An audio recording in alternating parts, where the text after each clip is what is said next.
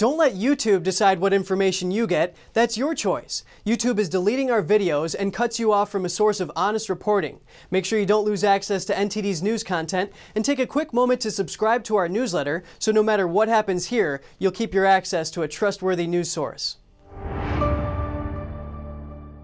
China comes under fire again for subjecting foreigners to an invasive virus test. Japanese officials say it needs to stop.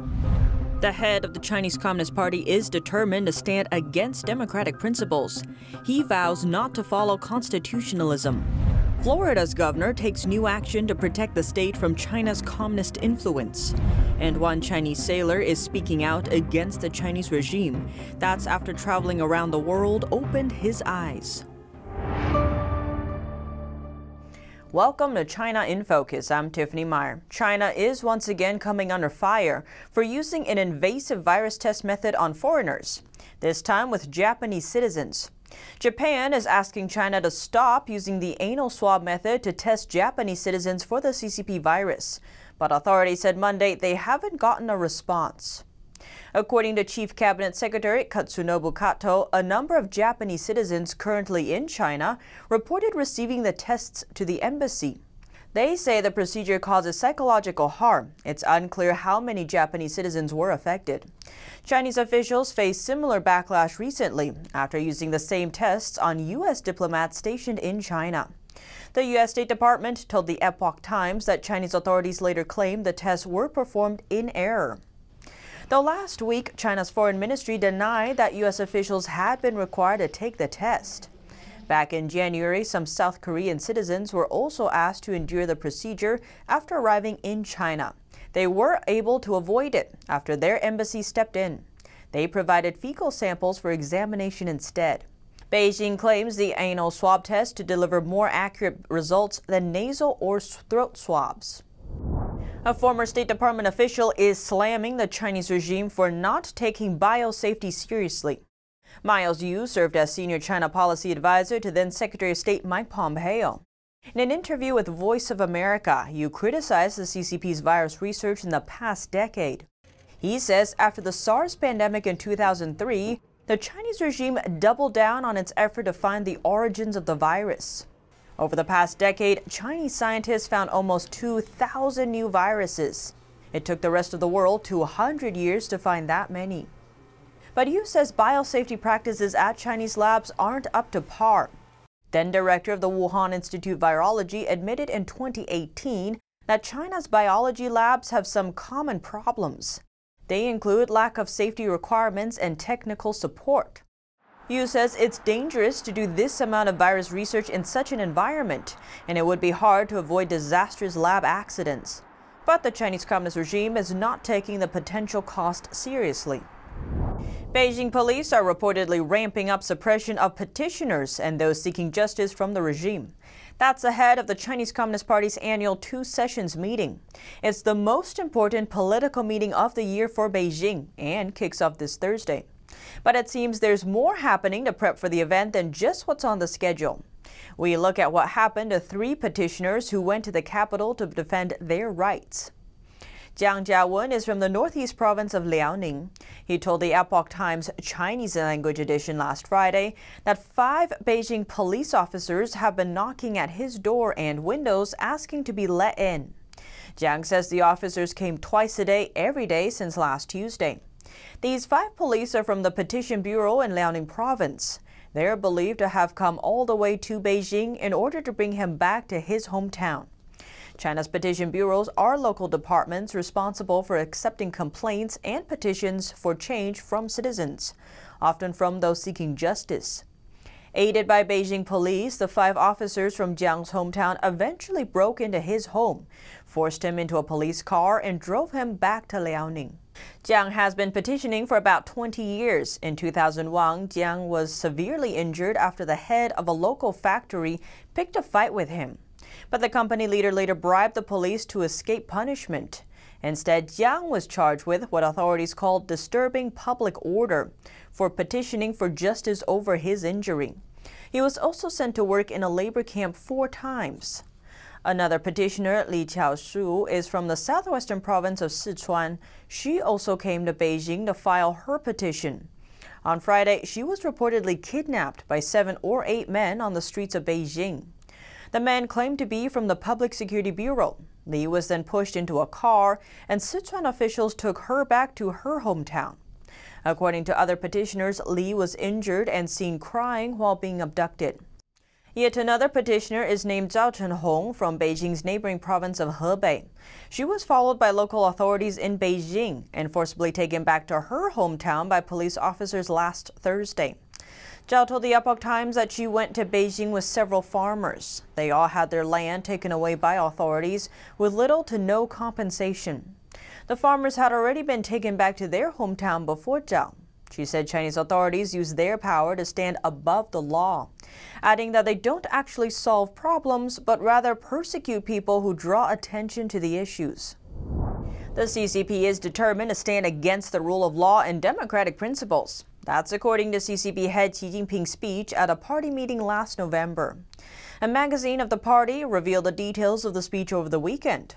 This is the first time such speeches were made available to the public. In his speech, Xi strongly criticized some Chinese human rights lawyers for their, quote, poor political consciousness and malicious attacks on the political system and the rule of law of the CCP. Poor political consciousness is a term the CCP invented. It means the person is not in line with communist ideology. Attacking the political system and the rule of law of the CCP means the human rights lawyers do not adhere to the orders of the CCP. Xi also said in his speech that Communist China will never take the course of Western countries that have a constitutional form of government, with separations of power and judicial independence.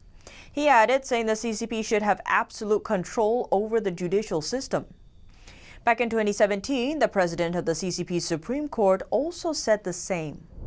Art performances in Communist China will have to now serve socialism and show support for Communist Party policies.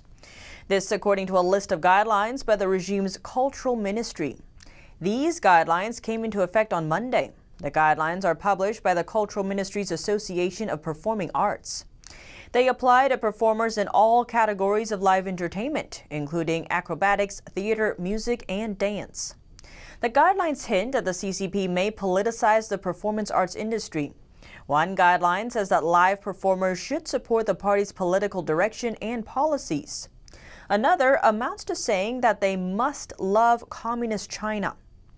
The regulation also tells performers to, quote, uphold the idea that literature and art should serve the people and socialism. That idea is based on former CCP leader Mao Zedong's ideology. The regulation also claims jurisdiction over performers' faith. It requires performers to align with the CCP's policies on religion. The CCP is officially atheist. Performers who fail to comply with these guidelines could potentially face a permanent ban from their profession. The regulation may be subject to future revision. A Chinese sailor is standing up and speaking out against the Chinese regime. That's after traveling around the world opened his eyes to the truth about communist propaganda. NTD's Becky Zhou has the details. A Chinese man has visited over 30 countries since becoming a sailor in 2015. His travels have opened his eyes to what life and the shipping industry is really like under Chinese communist rule. Haibin Liang says Chinese authorities have banned sailors from returning to China since the pandemic started. The captain seized our passports, certificates, and all other documents and won't allow us to keep them ourselves. Under Chinese policy, sailors have to pass various inspections and test negative for the virus before visiting their family members in China. But it's hard to get tested at sea. Many sailors have had no choice but to continue drifting in the ocean for over a year, even though they're not infected. We are healthy. We want a vacation. We want freedom. We want human rights. The sailors are also deprived of their human rights in other ways. They're made to work in small, confined cabin spaces with little ventilation and even encounter pirates. Those burdens come on top of the already high risk sailors normally face. The number of Chinese sailors who've died at sea is considered a state secret. Liang says he barely makes ends meet, though he risks his life to be a sailor. His company currently owes him seven months' worth of paychecks. One clause of his employment contract prevents him from filing complaints with the union, called the International Transport Workers Federation. Maritime transport accounts for 80% of international trade due to high costs of air transportation. The industry relies on sailors to ship commercial goods to all corners of the world. Despite their contribution to China's economy, sailors are seen as having a low social status and often receive few social benefits. Governments of other countries do a good job protecting the rights of sailors, but the Chinese Communist Party does not. Though the job does have its perks, one main advantage of being a sailor, Liang can easily travel abroad. Liang used the privilege to flee China last July, three months after publicly criticizing the regime. Our country and our government is being eroded by an evil force step by step. The people are going through an ordeal. I am determined to fight against this evil regime until the end, no matter where I am. To avoid persecution in China, he since applied for refugee status in Australia. Reporting by Becky Zhou, NTD News. Another famous privately owned Chinese company is selling part of its stake to state investors. Suning is one of the largest privately owned appliance retailers in China. But now, the sale has turned the business into yet another of China's state controlled enterprises. The company's stock shares jumped by their daily maximum limit of 10% on Monday. Following its announcement that government backed investors in Shenzhen City would purchase an over 20% stake. The stock purchase is valued at over $2 billion. Shenzhen City authorities will control the company's take more than any other shareholder. Financial scholar Si Ling says it's a shame Suning was forced to take the step because of its debts. During an interview with Radio Free Asia, he said the move is not a surprise. Ling said Chinese authorities' decision to step in is a sign of the growing appetite of the Chinese state. He added that Suning is being forced to cooperate and make compromises with the regime if it wants to survive. In recent years, the scale of private enterprises in China is gradually shrinking, while the state capital is boldly marching forward. An executive from another privately owned company expressed concerns over the move to Radio Free Asia. That person, who asked to stay anonymous, says Suning's transformation from private to state owned is sure to fail. He says state ownership first destroys the original private company, then goes on to destroy itself, adding that a regime run monopoly is certain to lead to a collapse. Suning's major stock sale isn't the only indicator of the retailer's financial trouble. A professional sports club owned by Suning ceased operations over the weekend. The association, called Jiangsu FC, is a member of the Chinese Soccer Super League. The soccer club announced the change and expressed hope for new backers on Sunday via a post on its official WeChat account. Fans were caught off guard by the news as the club just won the Chinese Super League title for the first time in November.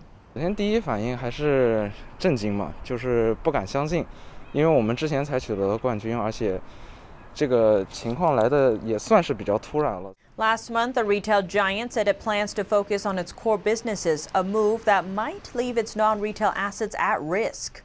Suning also owns Italian professional soccer club Inter Milan.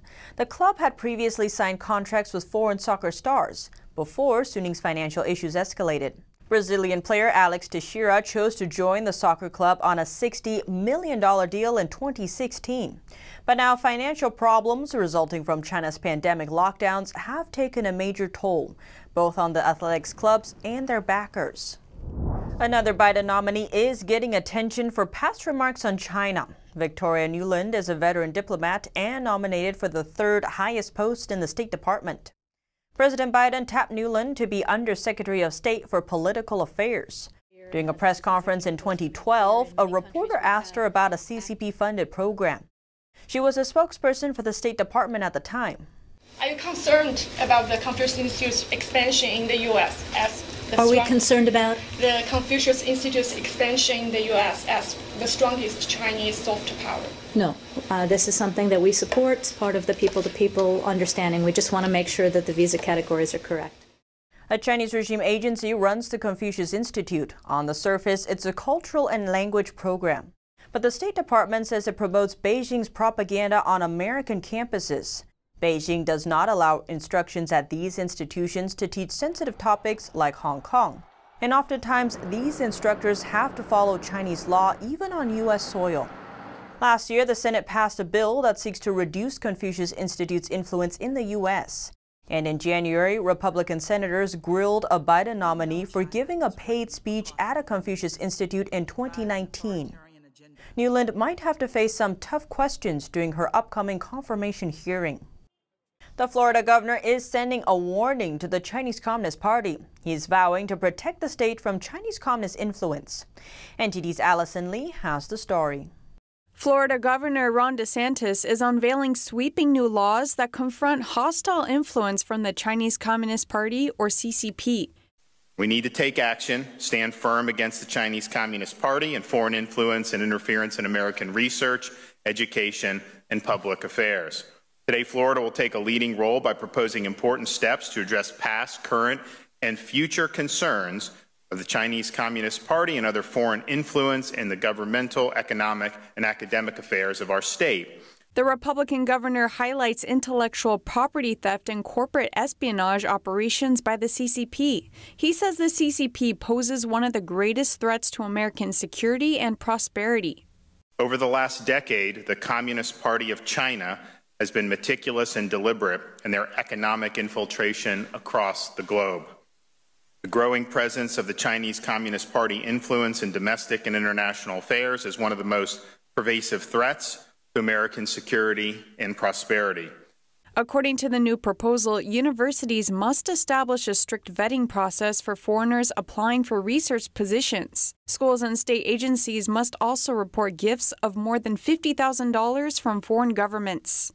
Chinese Communist Party has made it a mission of their global expansion of power to steal intellectual property from our businesses, our government, and our academic institutions, all to further fuel their global objectives. Schools that violate the rules will have to pay 105% of the undisclosed amount to the state. To combat corporate espionage, there will be longer sentence terms. The offense will also be reclassified one degree higher. We'll place strategic safeguards against foreign influence by closing loopholes, strengthening institutional vetting, and applying common sense protections for Florida schools, government entities, and more. DeSantis says Florida will be a leader in bringing these issues into the sunlight. Reporting by Allison Lee, NTD News. The Chinese regime is adding the CCP virus pandemic to the tools of suppression against press freedom. This according to the Foreign Correspondents Club of China, or FCCC. It says the CCP limited foreign reporting in 2020 with virus prevention measures, intimidation, and visa curbs. The club also says this led to a rapid decline in media freedom. In its annual report, the FCCC says no foreign journalists said working conditions in China had improved. This happened for the third year in a row. The report included responses from 150 reporters. It also says the Chinese regime denied reporters access to sensitive areas and threatened them with enforced quarantine. The CCP has also been using visa restrictions to pressure reporters for many years. The FCCC report says last year, more than 10 correspondents were given visas valued only for six months or less. But the most common media visas are usually for one year. The regime's foreign ministry responded to the report, saying these claims are, quote, baseless. The CCP expelled more than a dozen U.S. journalists in 2020. Chinese investment in Australia fell by over 60% last year. It's the lowest level recorded in six years. This comes as the two countries' diplomatic dispute worsens. Emma McCarthy reports. As tensions between Beijing and Canberra continue to simmer, Chinese investment in Australia has slumped to its lowest level in six years. The annual tracking study from the Australian National University recorded 1 billion Australian dollars of Chinese investment in 2020, consisting of real estate, mining, and manufacturing deals. That's a 61% fall, larger than the 42% decrease in foreign direct investment globally Australia announced a shake-up of its foreign investment laws in 2020 to give the government the power to veto or force the sale of a business if it creates a national security risk. Chinese company Meng Mengniu abandoned a deal to buy the Australian dairy firm Lion Dairy and Drinks from Japanese company Kirin in August after the Australian government indicated it would block the sale. The Chinese embassy said in November that 10 Chinese investments had been blocked in Australia on national security grounds. China has since imposed dumping tariffs on Australian wine and barley, and restricted the unloading of Australian coal at Chinese ports. And that's all for today's China in Focus. Thanks for watching and see you tomorrow.